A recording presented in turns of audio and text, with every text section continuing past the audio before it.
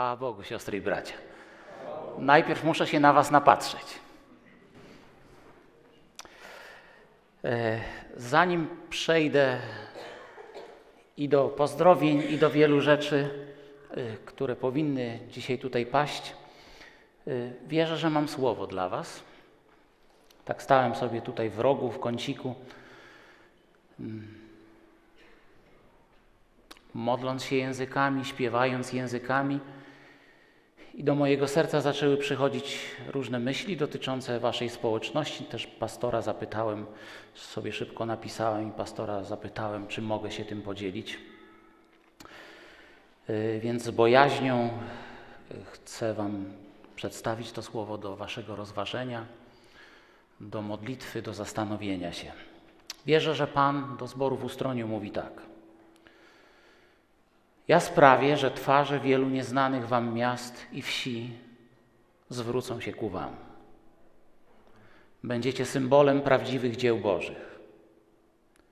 Będą spoglądać na was, by skorzystać z błogosławieństw, darów i łask, które wśród was będą w wielkiej obfitości. Panda plon, obfitość, a wy będziecie mogli obdzielić tym kraj. Tak jak Wisła płynie przez całą Polskę. Ile tutaj Wisła jest? 300 metrów? 500 metrów? Tak jak Wisła płynie przez całą Polskę. Tak dzieło Pana pośród Was dotrze do miejsc, o których nawet nie pomyślicie. Zbór w ustroniu będzie na ustach tego narodu. Usłyszą, że Pan jest i działa pośród Was. Co macie czynić? Po pierwsze, Pan mówi: trwajcie w jedności i wzajemnym zaufaniu. Niech nie będzie pośród Was sporów. Po drugie, Pan mówi: doskonalcie się we wszystkim, co robicie. Każda służba sprawowana w tym zborze, doskonalcie się w tym. Nie poprzestańcie na tym poziomie, na którym jesteście. Doskonalcie się w tej służbie. Trzecia rzecz, nie bójcie się zmian. Będzie inaczej. Będzie inaczej. Abyście mogli dotrzeć do ludzi, których nie znacie. Będziecie stawać się inni, aby oni zwrócili uwagę na Was i mogli przyjąć Wasze posłannictwo. Nie budujcie blokad ani tam, żeby powstrzymać dzieła Boże, bo ci, którzy je budują, będą walczyć przeciwko mnie, mówi Pan. Chciałbym, byśmy się pomodlili jeszcze o to słowo.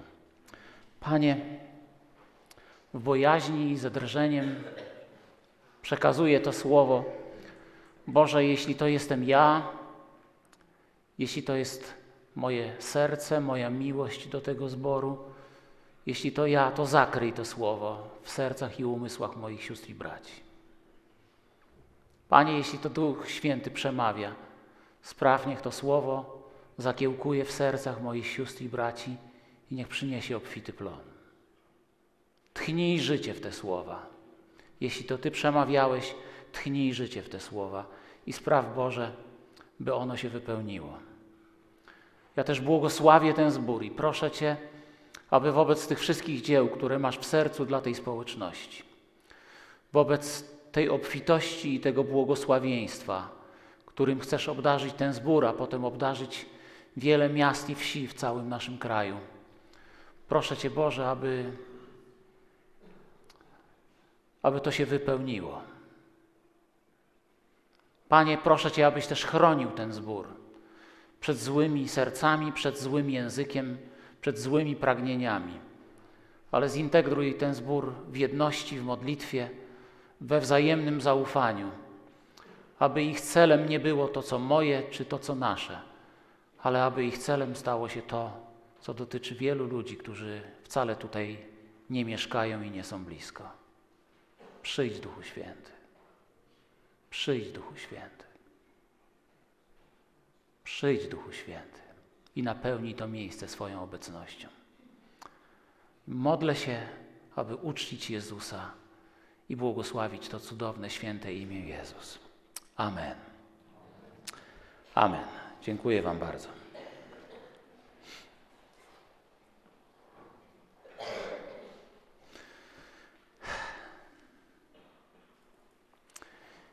Pastor powiedział, że dzisiaj jest święto, bo będzie ordynacja. Dla mnie to jest podwójne święto, bo oczywiście będzie ordynacja, z czego się osobiście bardzo cieszę.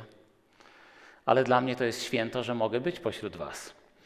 Ja bym w ogóle proponował, żebyście częściej jakieś uroczystości tutaj przeprowadzali, bo wtedy ja mam okazję być pośród Was. A jeżeli nie ma jakichś szczególnych uroczystości, to nie mam i okazji pośród Was być. Więc, pastorze, taki postulat. Dziękuję bardzo. Cieszę się, że mogę być. Moje serce w jakiś sposób jest z Wami. Yy, bardzo się cieszę, kiedy mogę przebywać pośród Was i, i cieszyć się yy, Waszą obecnością, a także obecnością Pana, jaka jest pośród Was. Chcę Wam przekazać pozdrowienia od Rady Kościoła. Jak nie wiecie, kto to Rada Kościoła, to całkiem dobrze, bo my nie istniejemy po to, żebyście o nas wiedzieli My istniejemy po to, żeby gdzieś tam poza waszymi oczami inspirować, zachęcać, pomagać, yy, wykonywać różne rzeczy, które są potrzebne pastorom, starszym zboru, zborom, ale całkowicie jakby poza waszymi oczami. Ale kochamy was, dopingujemy wam i modlimy się o to, byście byli błogosławieni, więc e, przekazuję wam pozdrowienia od Rady Kościoła. Ostatnio też byłem w paru miejscach, w Świebodzinie, a musiałbym zerknąć na kalendarz, w Dąbrowie Górniczej, w Wiśle tutaj po sąsiedzku, ale do Was się przynajmniej lepiej jedzie, bo w Wiśle to katastrofa. Ostatnio półtorej godziny wyjeżdżałem, ale tam wszędzie przekazywali Wam pozdrowienia, więc z Wisły to może najłatwiej te pozdrowienia przekazać, bo to zamiedzą, ale bracia i siostry przekazywali Wam pozdrowienia. Jeśli pozwolicie, też zabiorę pozdrowienia od Was dla innych. No będę się chwalił, że byłem w Ustroniu. Będę się chwalił. Halleluja.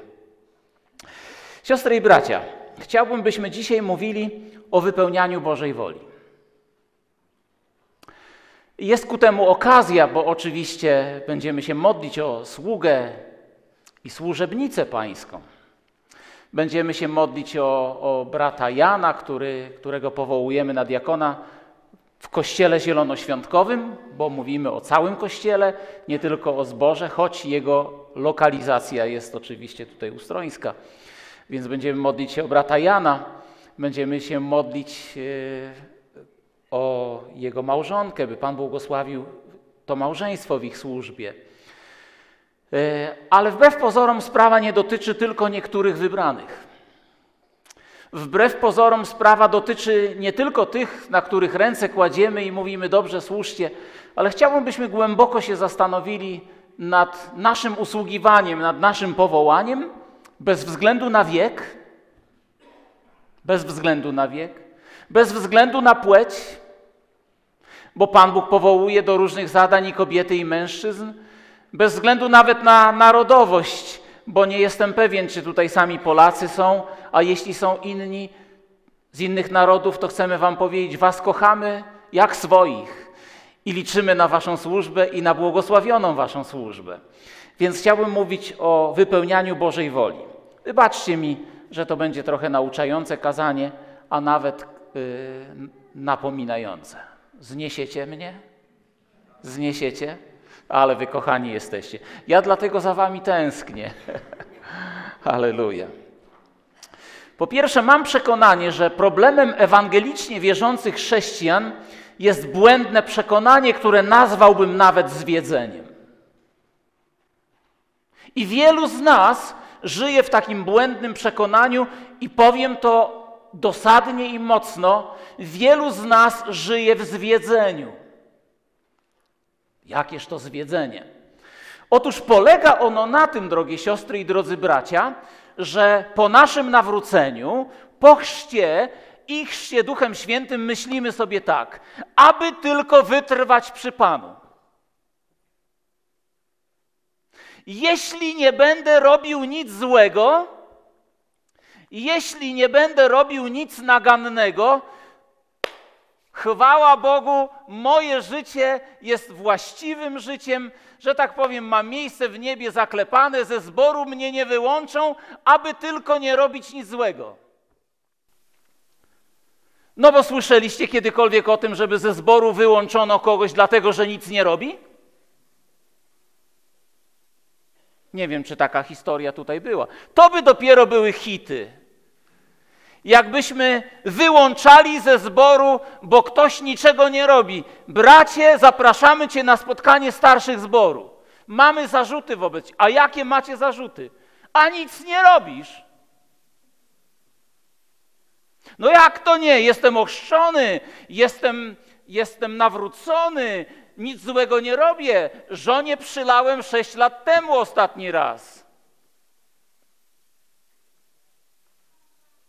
Ale to, że nie robisz nic, to jest bunt przeciwko Bożej woli.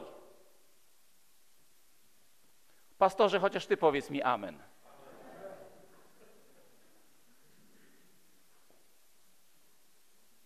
Sam fakt, że niewiele robimy dla Królestwa Bożego, jest oznaką życia w buncie przeciwko Bożej woli. Bo Bóg nie zostawił nas na tej ziemi, żebyśmy zbudowali wokół siebie twierdzę i powiedzieli tak: jakoś się musimy obronić przed tym światem, przed tym złem, przed tym brudem, przed tymi herezjami. Jak się obronimy, to Pan powie: Wow.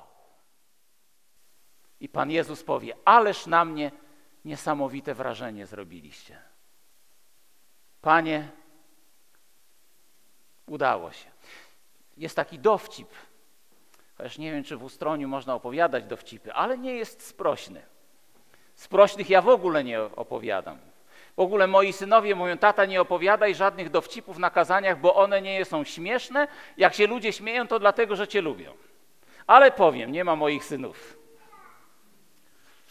Pewien człowiek opowiadał o tym, jak to ciężko jest być w wojsku chrześcijaninowi. I mówi, jak chrześcijanin idzie do wojska, to jeszcze za starych czasów, ale widzę, że tutaj niektóre osoby mogły tego doświadczyć. To moje pokolenie, był pobór do wojska. I się mówiło tak, jak człowiek idzie do wojska, to prześladują, wyśmiewają, tak dokuczają, że jest po prostu strasznie ciężko. No i ktoś do tego człowieka, który tak opowiada o tym wojsku, mówi: Słuchaj, i co? Strasznie ciężko ci było? Jak tam ty to przeżyłeś? A on mówi: Nie było źle, nikt się nie dowiedział. I to trochę jest tak jak z naszym życiem. Wiecie, chętnie się nie wychylamy, żeby z jakichś różnych względów nie podjąć się dzieł i nie podjąć się zadań, które Bóg dla nas przygotował. Nie ma tutaj osoby. Nie ma tutaj osoby, dla której Bóg nie przeznaczył jakichś dzieł. I jeszcze raz to powiem: nie ma znaczenia, czy jesteś kobietą, czy mężczyzną, w jakim wieku jesteś, a może jesteś chory i tak naprawdę trudno ci myśleć w tej chwili o swojej służbie. Bóg ma dla ciebie zadanie bo Twoje miejsce na tej ziemi, i to będę powtarzał wiele razy, polega na tym, żeby Bóg Ciebie błogosławił, a Ty masz stać się błogosławieństwem dla innych. Jeśli żyjesz po to, żeby Bóg Cię błogosławił, to jest dopiero połowa Bożego planu. Druga połowa Bożego planu jest taka: masz się stać błogosławieństwem dla innych. Przeczytajmy Boże Słowo, czwarty rozdział Ewangelii Jana. To jest rozmowa Pana Jezusa z Samarytanką. Wtedy Jezus powiedział, moim pokarmem jest wypełnienie woli tego, który mnie posłał i dokonanie Jego dzieła.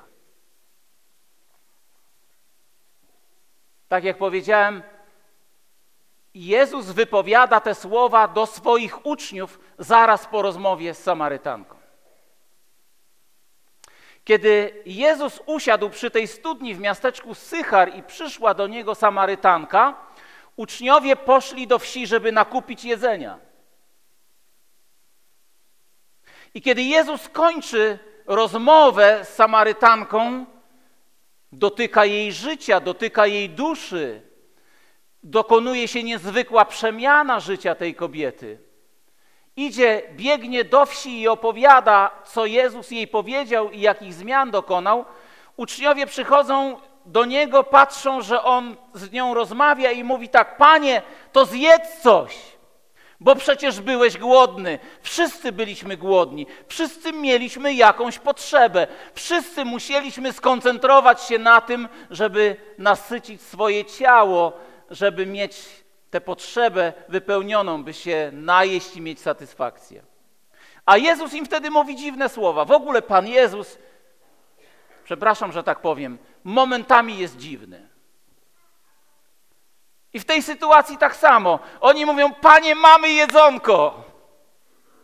Zdobyliśmy dla ciebie, kupiliśmy, rzucili krakowską. Nie, to już nie te czasy, żebyście to zrozumieli.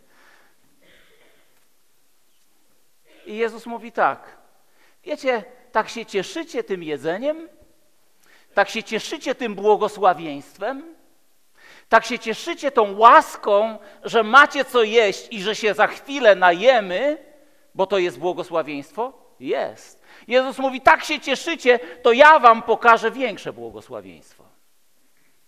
I ja wam pokażę lepsze rzeczy. I mówi tak, bo wiecie, ja to się najadam tym, kiedy mogę dzieło Boże wykonać. Jeżeli coś jest podstawą mojej siły, paliwem do funkcjonowania, satysfakcją, radością, szczęściem, to wtedy jestem szczęśliwy i wtedy jestem usatysfakcjonowany, gdy wykonuję dzieła Boże. A ten pokarm, no wiecie, jem, bo muszę.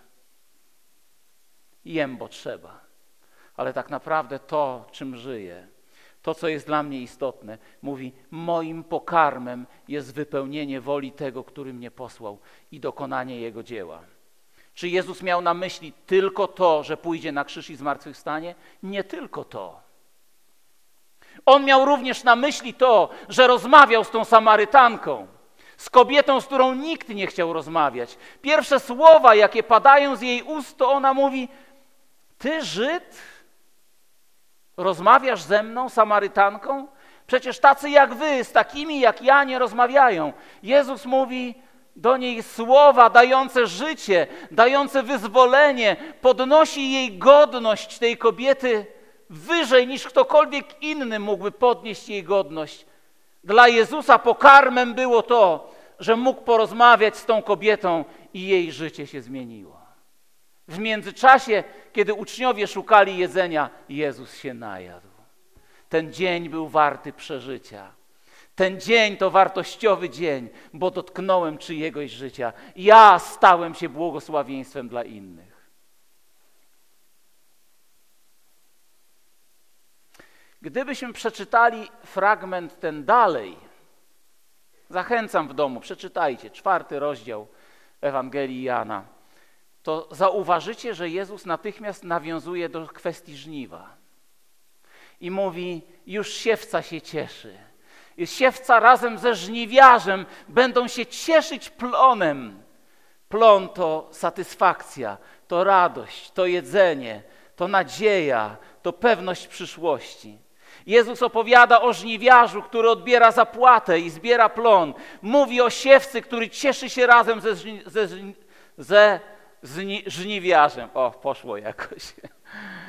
Podczas żniwa nie jest ważne, że nic nagannego nie robisz.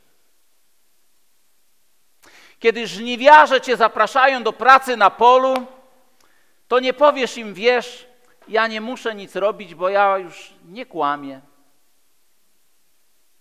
Już się z tym uporałem. Nie jeżdżę za szybko samochodem. Żony nie zdradzam, nie chodzę grać w hazard, nie piję piwa, a jeśli już to tylko bezalkoholowe. Ja nie muszę iść na żniwo. Ja nie muszę iść na żniwo, przecież ja nie kłamię. Ja nie muszę iść na żniwo. Przecież ja nie zdradzam żony. O co ci chodzi? Dlaczego mnie zapraszasz do pracy? Takie jest nasze podejście często. mówimy, obym tylko się ochronił. Jestem zbawiony, należę do Bożego ludu, Pan mnie błogosławi, oby tylko nic złego nie robić, będzie fajnie. Ale Pan mówi zaraz, zaraz, hola, hola. Nie chlub się tym, że nic złego nie robisz, bo tak czy inaczej nie należy tego robić. Ale Twoje powołanie polega na tym, żeby przyłożyć rękę do pługa, do sierpa, do żniwa, do pracy, którą mamy do wykonania, bo to żniwo to nie jest kwestia czegoś nieokreślonego. To żniwo to realna pomoc, jaką niesiemy ludziom i stajemy się błogosławieństwem dla innych.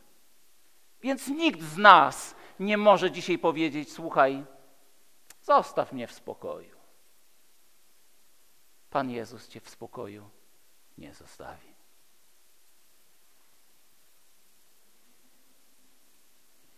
Podczas żniwa najważniejsze jest to, że pracujesz z wielkim wysiłkiem. Podczas żniwa najważniejsze jest to, że koncentrujesz się na tym, żeby zebrać plon. Podczas żniwa nie koncentrujesz się na tym, że ten, który obok ciebie jest żniwiarzem, nie tak się ubrał.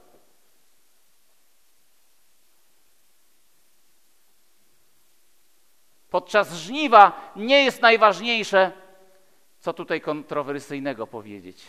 O wiem. Podczas żniwa nie jest najważniejsze, że ten, który obok ciebie jest żniwiarzem, ma tatuaże.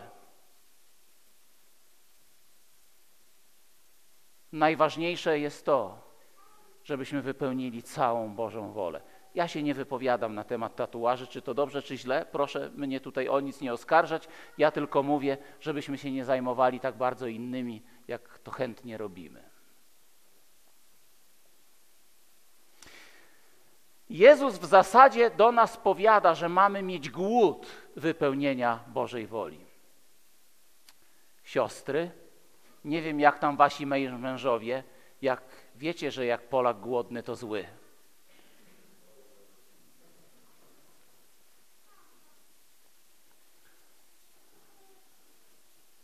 Nie wiem, jak tam siostry reagują, ale to niestety często w rodzinach jest tak, że muszą matkować i dzieciom, i mężom, yy, więc muszą się inaczej zachowywać.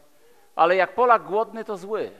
Chodzisz i kombinujesz, a jak nie, to chociaż po batona do biedronki albo do żabki, do najbliższego sklepu, żeby tylko coś zjeść. A ja sobie pomyślałem tak, a co by to było, siostry i bracia, żebyśmy nie mogli wytrzymać i tak szukali każdego dnia okazji, żeby być dla innych błogosławieństwem, dla zboru, dla społeczności, dla ludzi, z którymi się stykamy w tym świecie, żeby powiedzieć: Zacząłem ten dzień i jeszcze dla nikogo nie byłem błogosławieństwem. Co by tutaj zrobić? O kogo by się pomodlić? Nawet nie mówię z kim, tylko mówię, o kogo by się tu pomodlić? Komu dać dobre słowo?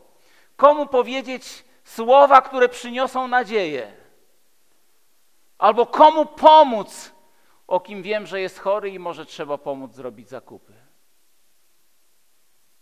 Co ja mam zrobić, żeby ten dzień miał wartość? Wiecie, kiedy w żołądku zsie, kiedy w żołądku zsie, człowiek głupieje.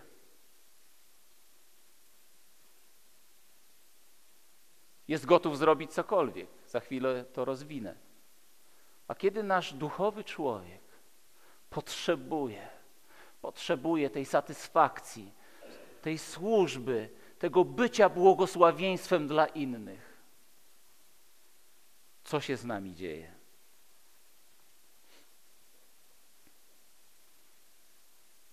Chcę Wam powiedzieć, siostry i bracia, że bez wypełniania Bożej woli czeka nas śmierć głodowa. Jeden zrozumiał, to nie, to nie jest klakier, nie umawialiśmy się, że mi powie amen. Chcę powiedzieć, że w naszych zborach, nie mówię w tej chwili o waszym zborze, mówię ogólnie jako o pewnej koncepcji, w ławkach siedzi mnóstwo zagłodzonych na śmierć ludzi. Zagłodzonych duchowo. wysuszonych, kompletnie wyschniętych, dlatego że nie są uczestnikami dzieł Bożych. Nie są uczestnikami wykonywania Bożej woli, nie są uczestnikami dzieł, które dzisiaj Jezus sprawuje.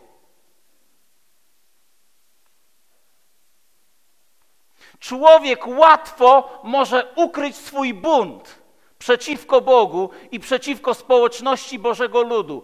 Jaki to bunt? Taki mianowicie, że nie jesteśmy uczestnikami tego, co się dzieje w Bożej rodzinie i nie stoimy przy Jezusie w jednym jarzmie.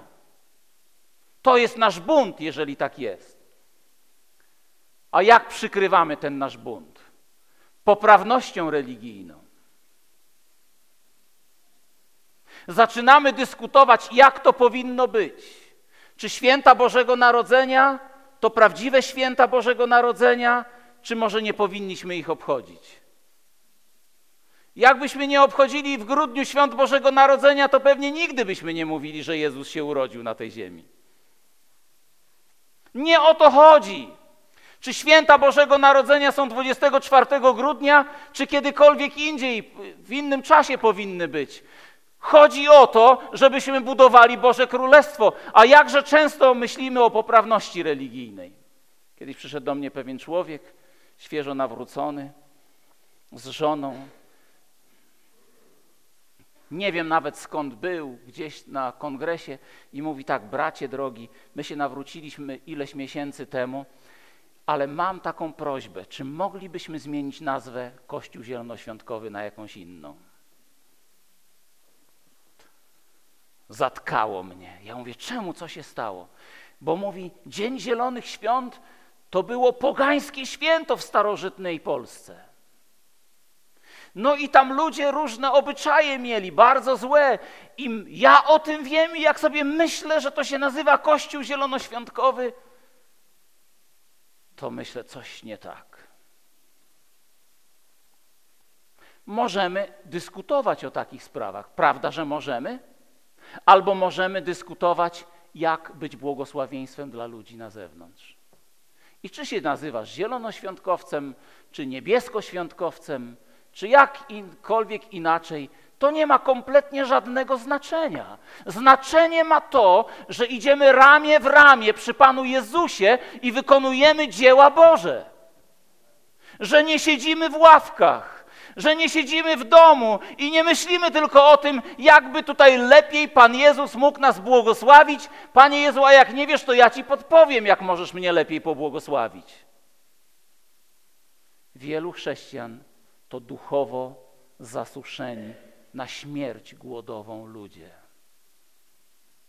bo nic nie robią dla Pana. Kiedy człowiek jest przepełniony głodem, kiedy człowiek nie żywi się odpowiednio, zaczynają mu przychodzić do głowy różne rzeczy. Będzie się żywił czymkolwiek.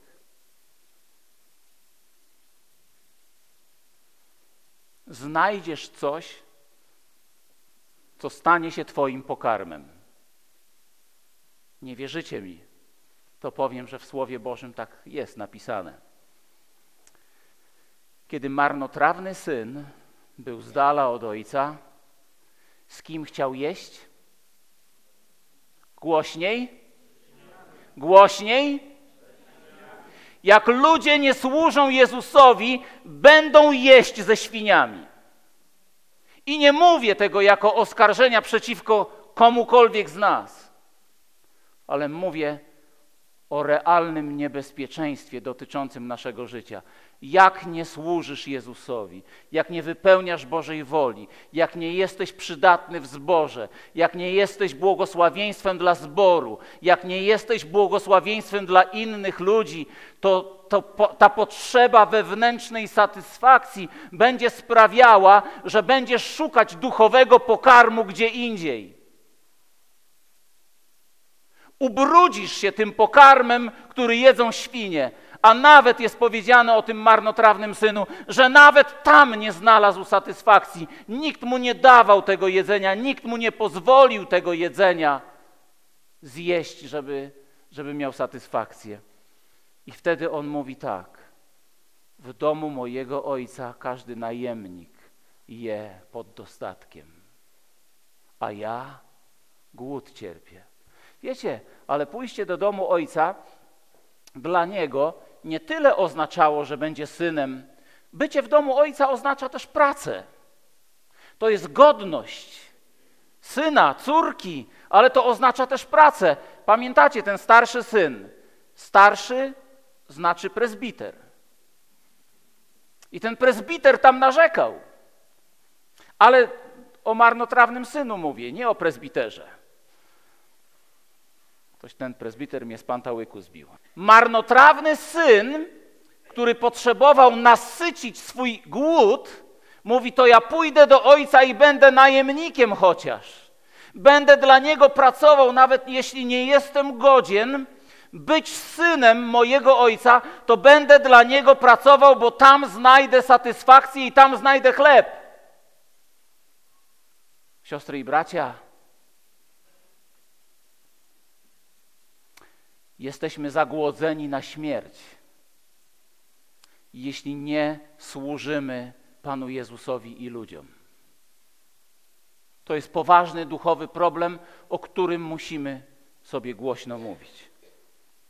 Kiedy Pan Jezus myśli o Bożym Królestwie, myśli o Tobie, to zawsze widzi potrzebę żniwa, zawsze widzi potrzebę pracy, zawsze widzi potrzebę celu, który Tobie będzie przyświecał.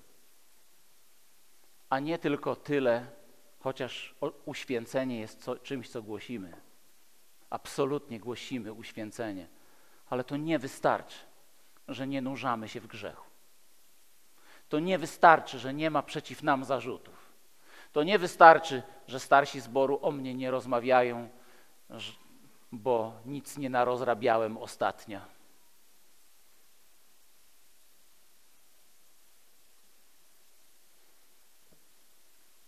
Tego nie przemyślałem, więc, więc powiem, ale nie jestem na 100% pewien. Czy kiedy bierzemy stół pański, chleb i wino, kiedy uczestniczymy w stole pańskim, w chlebie i winie, to oddzielamy w Królestwie Bożym pewne sprawy i mówimy, Panie Jezu, chcę mieć udział w błogosławieństwie, ale byś mi tylko nie kazał nic robić. Czy przyjmując chleb i wino, nie powinieneś, nie powinnaś też mówić, Panie, potrzebuję uświęcenia, potrzebuję obmycia Twoją świętą krwią, ale potrzebuję też służyć Tobie całym swoim życiem, całym swoim sercem.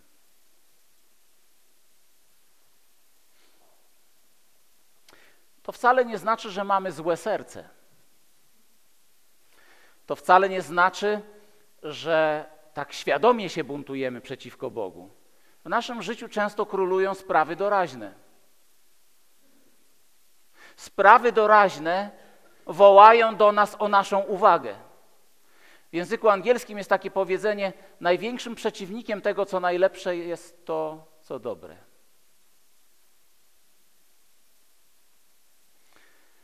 Sprawy doraźne rządzą naszym życiem. Chcę powiedzieć, to jest realna władza, która nad naszym życiem jest sprawa, sprawowana. Sprawy doraźne. Jakie to są sprawy doraźne? To, co masz w pracy, to, co masz w domu, wywiadówka, zajęcia z angielskiego dodatkowe dla dzieci, sprawy muzyczne, coś tam wyskoczyć i jeszcze, jeszcze jakaś sprawa i nagle wszystkie sprawy, które są na dzisiaj, zaczynają rządzić Twoim czasem i mówisz tak, panie, pojutrze będę miał trochę czasu, żeby ci służyć. Bo dzisiaj sam widzisz, jak jest źle. Taki jakiś dziwny dzień. Ale nie mam, nie wiem, czy się zgodzicie ze mną, ja mam wrażenie, że większość naszych dni to są takie dziwne dni. Dziwne dni. Po prostu ciągle coś jest do zrobienia. Ciągle coś jest do załatwienia. A jeśli już nic, to po kilku dniach dużej intensywności chałupę trzeba posprzątać. I masz kilka godzin z głowy. Padasz zmęczona, a jeżeli mężczyzna jest prawy i wspiera swoją żonę, padasz zmęczony i mówisz: No tak, minął dzień, ledwo dyszę i tak ciągle. Chcę Wam powiedzieć, że na tym polega walka w naszym życiu, że Jezus musi być Panem i Królem nad naszym życiem, sprawować realną władzę, a nie sprawy doraźne. Nie sprawy dzisiejszego dnia, rzeczy, które dzisiaj muszę załatwić. I ja chcę powiedzieć, ja staram się nie być ekstremalny w swoich poglądach. We wszystkim jest potrzebny zdrowy rozsądek. Czy słyszeliście kiedyś o zdrowym rozsądku? Bardzo proszę, zachowajcie ten zdrowy rozsądek w różnych waszych sprawach. Ale Panem naszego życia jest Jezus. Panem naszego życia i każdego naszego dnia jest Król Królów i Pan Panów, ten, który nas wykupił dla siebie, abyśmy byli Jego własnością i dlatego z radością mówimy, najważniejszą sprawą w naszym życiu jest to, by żyć dla mojego Pana i służyć dla mojego Pana. Pamiętam wiele lat temu był taki traktat ewangelizacyjny. To jeszcze były czasy, kiedy traktaty były marne, y, ale wszystko było w tych czasach marne, więc wydawało się, że i traktaty są fajne. I pamiętam wiele lat temu to był traktat w formie takiego komiksu Życie człowieka przedstawione w etapach: urodzenie, małe dziecko, ślub, praca, dzieci.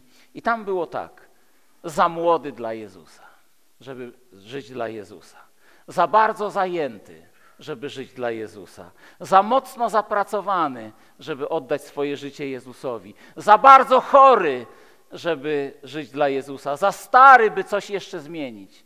I w końcu grób tego człowieka za późno, żeby żyć dla Jezusa. I wiecie, to jest trochę obraz naszego życia. Zawsze coś jest za. Za bardzo zajęty, za bardzo leniwy, za bardzo zapracowany, za bardzo chory, za bardzo zakochany, za bardzo rozdarty różnymi rzeczami. Ja wiem, we wszystkim konieczny jest, potrzebny jest zdrowy rozsądek. Ten zdrowy rozsądek każe nam, żebyśmy przygotowali nasze dzieci na przyszłość. Przygotowali niezależnie od humoru dnia dzisiejszego dali im coś wartościowego.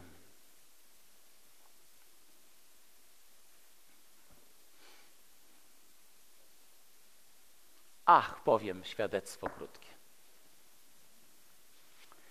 Ja wiem, że ja się wychowałem w, innych czasach. Mam 58 lat teraz. I pamiętam, że moi rodzice, obydwoje pracowali w ogrodnictwie w Słupsku po pracy o trzeciej trzeba było przygotować coś do jedzenia i od wiosny do jesieni zawsze szli na działkę, żeby pracować. No takie były czasy. Y, moja mama była prawie analfabetką. Ja byłem takim bardzo późnym dzieckiem tamtego przedwojennego pokolenia y, i ona na Lubelszczyźnie się wychowała, więc jak posłali ją do szkoły, to po trzech miesiącach przestała chodzić do szkoły, bo butów nie było więc nie chodziła do szkoły, nic w życiu nie przeczytała oprócz Biblii. Ale wiecie, powiem wam, ja nie, nie pamiętam sytuacji, żeby moja mama po pierwsze opuściła jakiekolwiek nabożeństwo. Po drugie, pamiętam, ona już nie żyje, odeszła do Pana.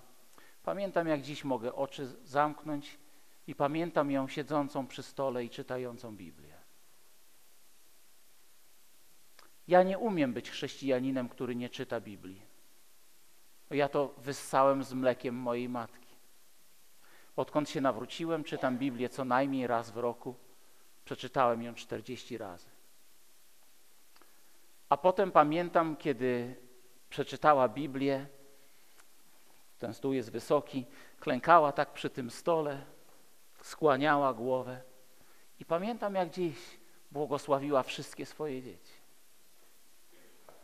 Błogosławiła cały dom, błogosławiła zbór. Tak, moi rodzice byli zaangażowani w służbę. Różnie to bywało, jak to i u ludzi.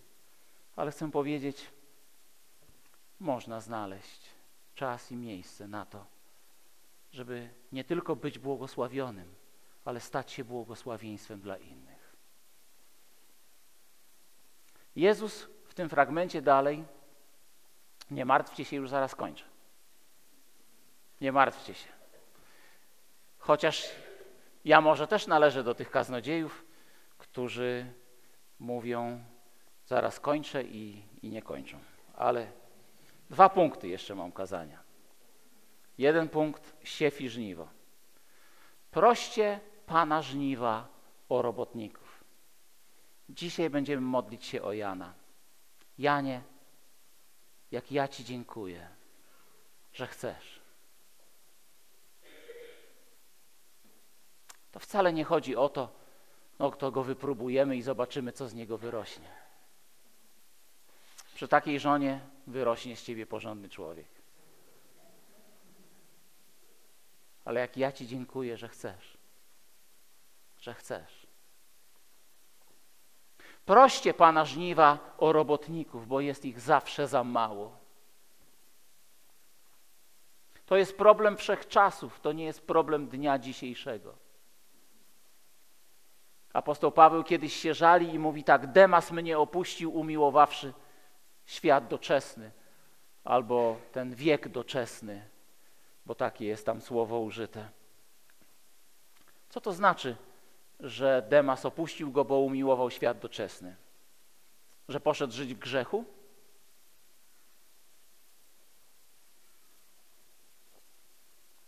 Że poszedł uprawiać hazard?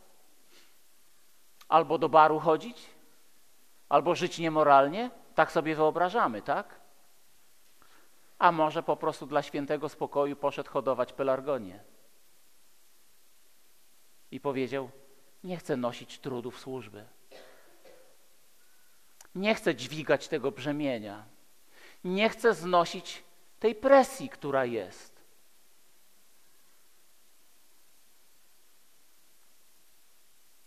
Nie wiem, czy powinienem wam się zwierzać z takich rzeczy, ale powiem wam tak. W mojej służbie najtrudniejsza rzecz, która jest do zniesienia, to to, że codziennie odczuwam na sobie presję. Zawsze w głowie są jakieś myśli o problemach. Zawsze. Gdybym genetycznie nie był łysy, jakbyście zobaczyli, że brodę zapuszczam, albo troszkę dłuższe włosy bym miał, zobaczylibyście, że jest wszędzie biało.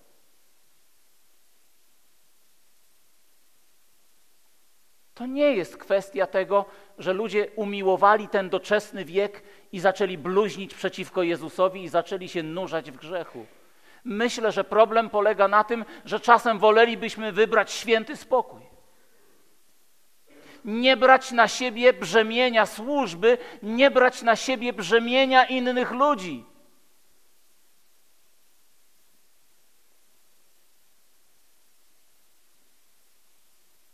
Jakby to było cudownie, gdybyśmy mogli służyć Bogu i nie nosić brzemion służby, nie odpierać duchowej presji, nie od, odpierać ataków demonicznych.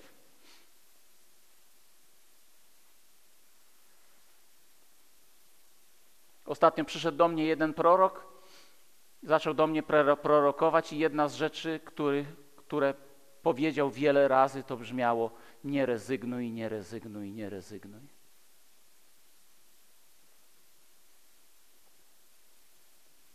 Ale Jezus dzisiaj do każdego z nas mówi: pójdź za mną. I nie ma na myśli tylko tego, żebyśmy poszli do nieba. Oczywiście, że tak ale Jezus ma na myśli też i to, żebyśmy poszli za Nim i służyli ludziom, którym On chce usłużyć razem z Tobą. Żebyśmy usłużyli zborowi i byli błogosławieństwem, a nie przekleństwem dla zboru. Żebyśmy byli błogosławieństwem dla ludzi, którzy gdzieś tam potrzebują pomocy i do których idzie Jezus. Co możesz zrobić? Zdecydować się na niesienie na swoich barkach odpowiedzialności za Królestwo Boże, za zbór, za daną dziedzinę służby. Jakkolwiek Bóg Cię prowadzi, Chodzi o to, żebyśmy wszyscy byli filarami w domu Bożym. Amen? Czy to jest filar duchowy, czy to jest filar modlitewny, czy to jest filar przywództwa, czy to jest filar jakiejś służby, czy to jest filar finansowy. Potrzebujemy filarów, które będą podtrzymywały razem z Jezusem te budowle, byśmy stali się błogosławieństwem dla innych. A chciałbym powiedzieć dzisiaj tak: jeśli Ty się zatroszczysz o to, by być błogosławieństwem dla innych, to Jezus się zatroszczy o błogosławieństwo dla Ciebie osobiście. Kto przykłada rękę do pracy pańskiej, nie będzie głodny. Nie zabraknie mu radości, nie zabraknie mu pokoju, nie zabraknie nadziei, nie zabraknie satysfakcji i nie zabraknie miłości Bożej. Nie zabraknie ci tego, nawet jeśli to brzemię czasem będzie trudne, bo trzeba je nieść, ale to znaczy, że zawsze będziesz mieć powody, by mówić: Boże, chciałem powiedzieć, jestem najszczęśliwszym człowiekiem na ziemi, ale w waszym przypadku to jest niemożliwe, bo ja jestem najszczęśliwszy. Więc możecie powiedzieć: Boże, to ja jestem pierwszy po Marku.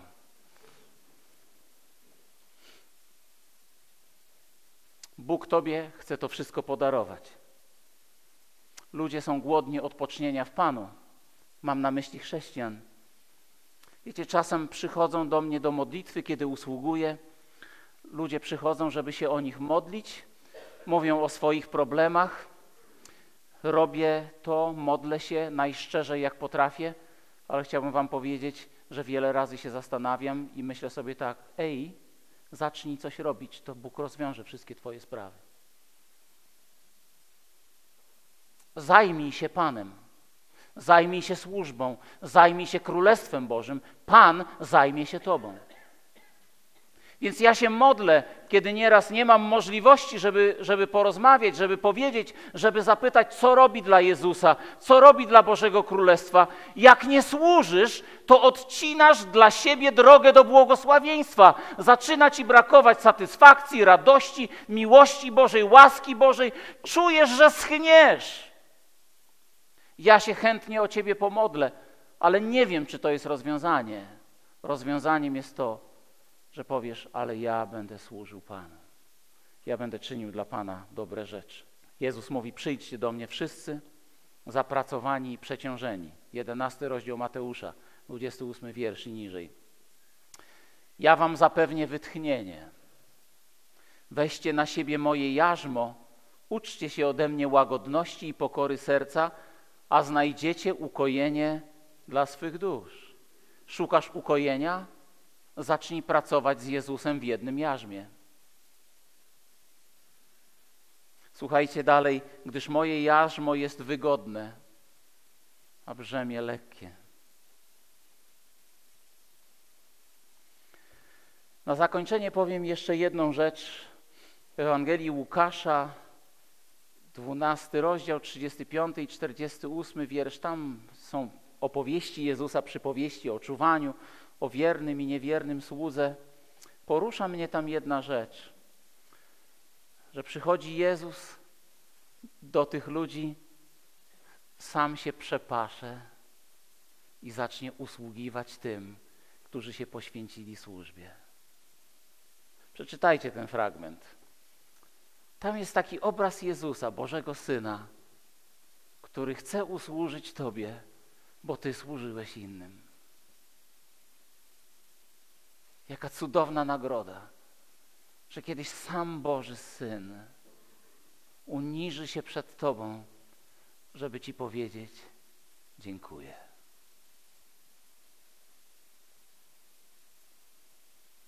Żeby Ci powiedzieć: Dziękuję. Jak bardzo Jezusowi zależy na tym, byś czynnie budował Królestwo Boże. Nie wystarczy powiedzieć: Panie, nie zrobiłem nic złego ale Jezus by chciał wtedy powiedzieć, wiesz, ale kiedy jedno moje dziecko cierpiało i Ty mogłeś pomóc, nie pomogłeś.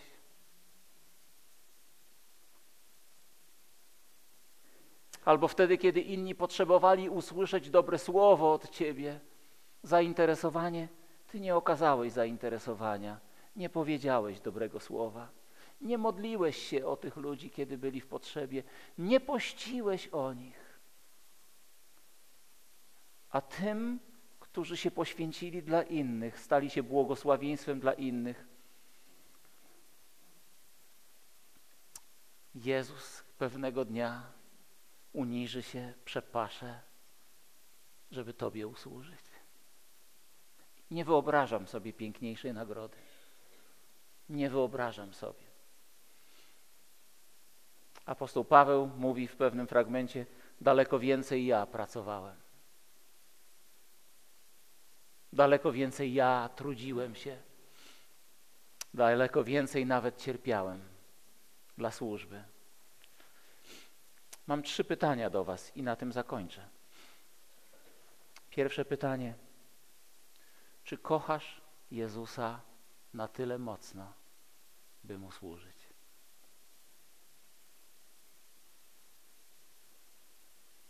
Drugie równie ważne pytanie: czy kochasz Jezusa na tyle mocno, by mu służyć?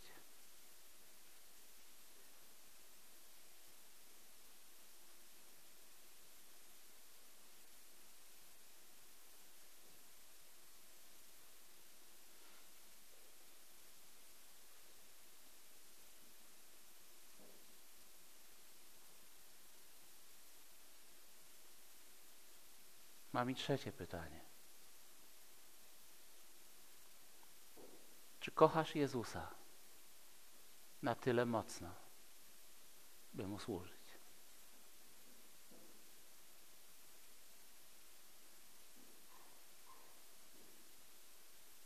Powstańmy do modlitwy. Duchu Święty, tak bardzo Cię proszę, zapieczętuj to słowo najpierw w moim sercu, a potem w sercach moich sióstr i braci. Ja błogosławię ich. Błogosławię ten zbór. Błogosławię tę społeczność. Błogosławię starszych i młodziutkich. Błogosławię kobiety i mężczyzn. Dziękuję Ci, Panie Jezu, za ten największy zaszczyt służenia Tobie, życia dla Ciebie. Czasem zrobienia czegoś prostego. Może modlitwy regularnej o zbór, może postu, może bycia błogosławieństwem dla innych ludzi. Panie, chcemy dla Ciebie coś czynić. Dotknij naszego życia, naszych serc i spraw, żebyśmy byli zdolni do tego dzieła. Błogosławię moje siostry i moich braci. Panie, i dzisiaj modlę się, aby ich życie dzisiaj zostało przemienione. Daj im inne myślenie o Tobie i o Twoim Królestwie. Daj im inne myślenie o zboże. Daj inne myślenie o tej społeczności. Daj inne myślenie o tych ludziach na zewnątrz, bo Ty nas posyłasz i do zboru, i do naszych rodzin, i do ludzi na zewnątrz, byśmy byli dla nich błogosławieństwem. Idźcie, siostry i bracia, w imieniu Jezusa i bądźcie błogosławieństwem wszędzie. Ku chwale naszego Pana. Amen.